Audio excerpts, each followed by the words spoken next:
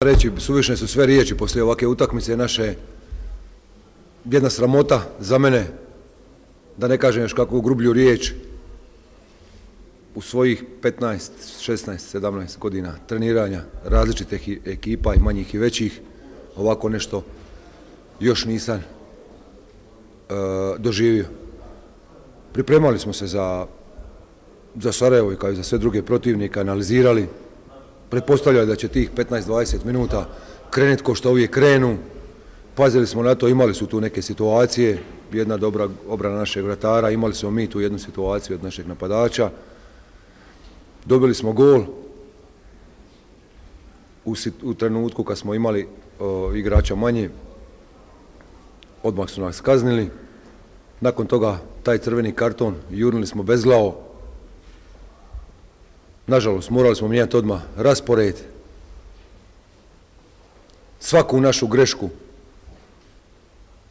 tehnički tih je bilo najviše, jednostavno mi smo njima davali lopte, znači nismo mogli zadržati 3-5 sekundi loptu u svom posjedu što smo htjeli. Brzo bi izašli u tu kontru, polukontru, pravili nam probleme,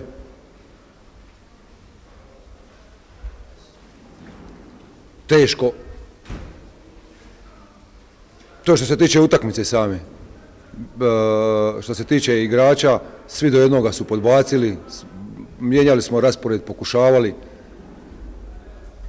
Znači, svi do jednog. I kad čitava ekipa podbaci, apsolutno preuzimam krivnju na sebe. Dobro da jedan ili dva igrača nisu bili u formi, da su podbacila, ali čitava momčad.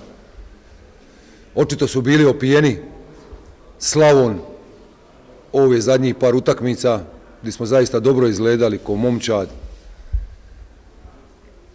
Ali kažem, na meni je bilo da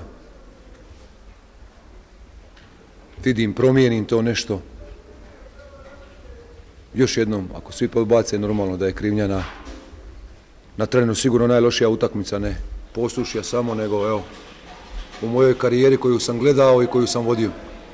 Evo toliko.